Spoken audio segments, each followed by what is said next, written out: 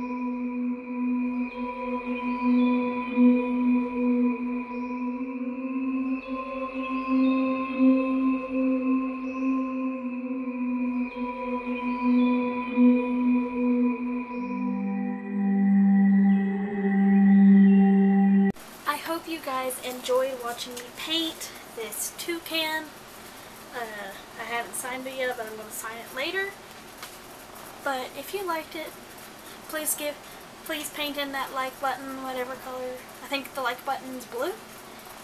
And if you want to see more like this or anything similar, you can paint in the subscribe button red. I'll see you later. Bye!